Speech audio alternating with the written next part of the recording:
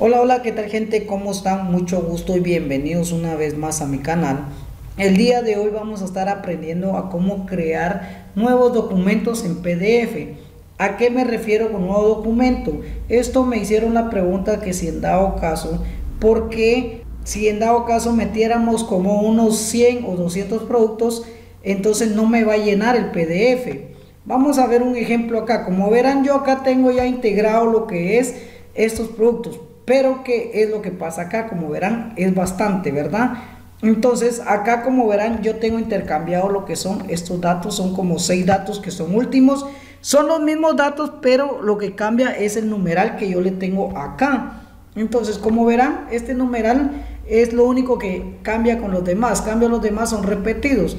¿Por qué le puse este numeral? Porque obviamente quiero diferenciar el valor o estos valores que me salgan en la página final. Entonces, si yo ejecuto mi aplicación, vamos a generar una factura que es la número 2, porque yo acá ya tengo una factura número 1 y le voy a poner Ana Lucía.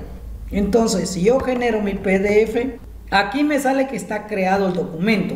Busco mi documento acá, lo voy a ejecutar o lo voy a abrir. En esta ocasión yo lo abro con Google Chrome entonces, acá está mi PDF, ¿sí? Obviamente me lo está creando. Pero como les decía, ¿a qué me refiero yo con lo que es el producto? Como verán acá, llega un límite aquí abajo y aquí me, me, sale el producto, pero no me sale el producto final que tengo yo acá registrado. Entonces, por ejemplo, como les decía, yo tengo acá en los finales el número de estos productos que son los códigos y estos no aparecen acá que es el código de producto acá. No me aparece. Entonces, ¿qué es lo que vamos a hacer acá? Vamos a aprender a crear un nuevo documento y pasarle esa información.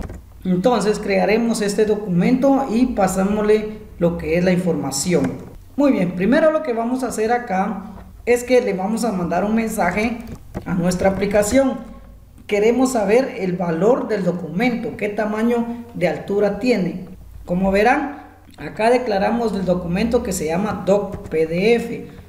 Entonces, yo acá le voy a poner docpdf.pipesize.hey.toString para que me lo convierta en string y que me mande un mensaje qué tamaño es el alto de la página.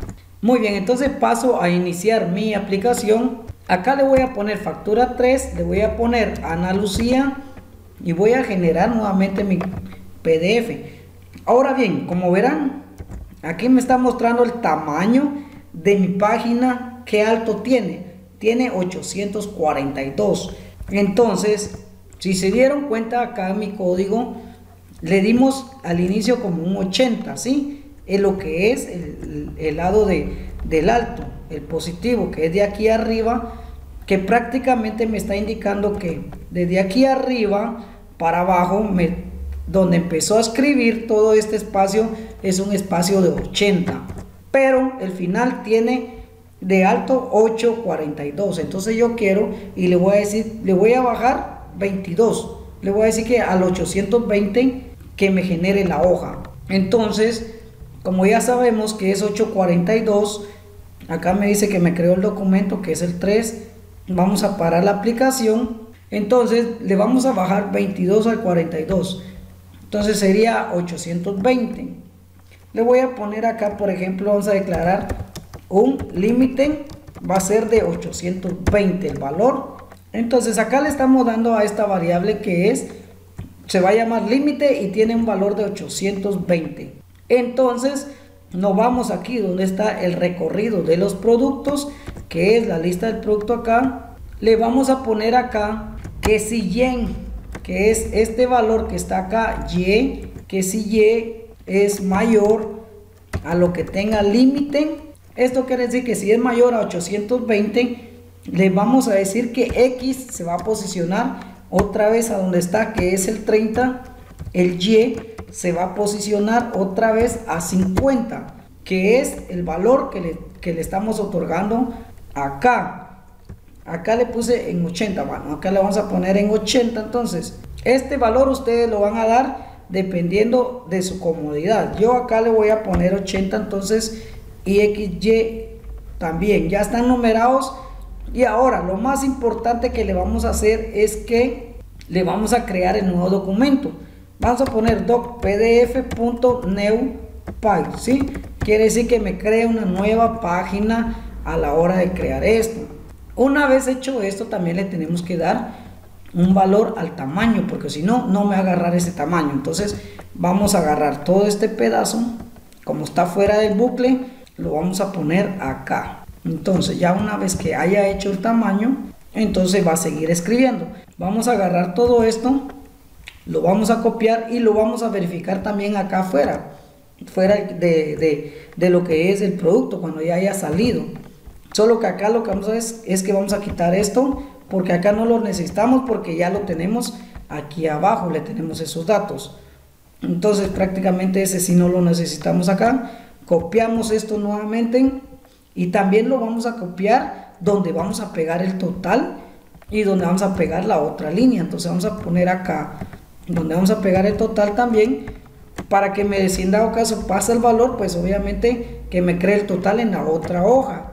Esas tres verificaciones va a ser. Ahora vamos a ejecutar de nuevo. Vamos a poner ahora la factura número 4. Creo que es esta. Acá tenemos solo 3, entonces la 4.